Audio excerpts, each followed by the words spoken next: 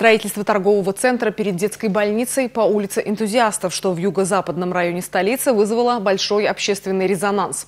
В администрацию столицы поступает много жалоб по этому поводу. Ситуация сегодняшнего дня в нашем материале.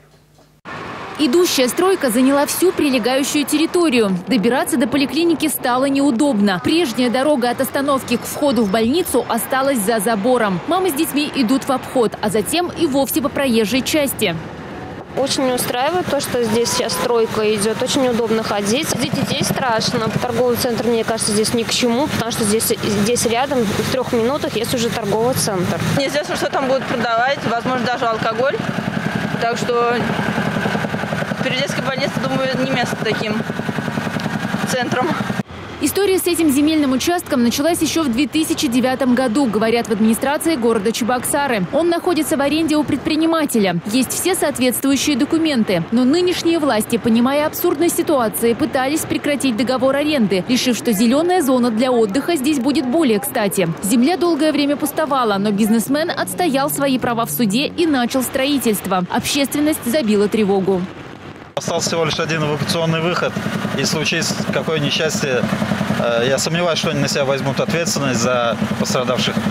Сюда не подъедет ни одна, ни скорая машина, ни пожарная, ни газовики при одном выезде. После окончания строительства добавятся парковочные места, где будут стоять машины, и, естественно, будут случаться эксцессы с участием детей. Администрация столицы еще раз провела переговоры с предпринимателем.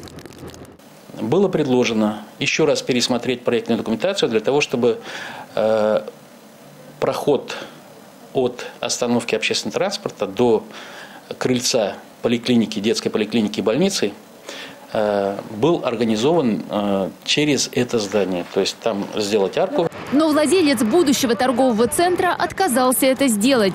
Сейчас э, в администрацию города поступает очень много обращений от э, горожан и общественных организаций города э, против строительства данного торгового центра. Поэтому, но хочу сказать, что решение об, о запрещении этого строительства может принять суд.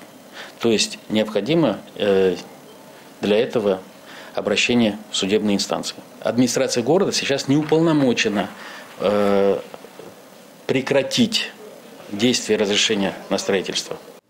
Все же непонятно, почему мэрия, подписавшая когда-то арендный договор, не может опротестовать решение суда, если оно противоречит здравому смыслу, и предложить взамен предпринимателю другое место. Ведь был же прецедент по участку около гимназии номер 4 по улице Энгельса. После долгих разбирательств там все же прекратили строительство здания. Татьяна Трофимова, Арена Гавилян, Александр Петров, Республика.